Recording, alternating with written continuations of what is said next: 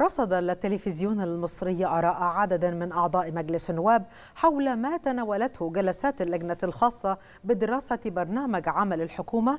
نستعرضها مع حضراتكم.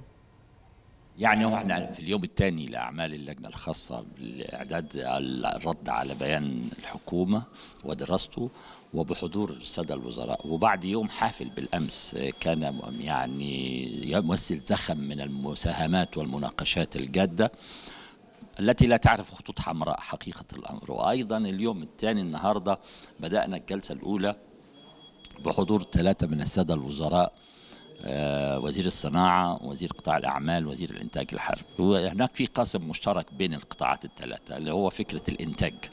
الإنتاج والتصنيع يعني قطاع الأعمال الإنتاج والتصنيع. أيضا الإنتاج الحربي باعتبار حتى رغم أن الإنتاج الحربي يتصف بخصوصية من حيث المنشأ والهدف صناعات حربية لكن عنده فائض الطاقة الإنتاجية عنده بيوجهه إلى إنتاج صناعات مدنية. النهاردة بنتحدث مع كافة الوزراء بشفافية شديدة جدا لأن قاطرة الاقتصاد المصري ستقوم بشكل كبير على التنمية الصناعية والتنمية الزراعية ورفع القيود أمام أي عقبات تواجه تلك المحددات الرئيسية كقاطرة للاقتصاد توطين الصناعة دي شيء مهم بمختلف مستوياتها في الكبيرة والصغيرة والمتوسطة حتى متناهية الصغر ولازم الصناعة تبتدي من إيه؟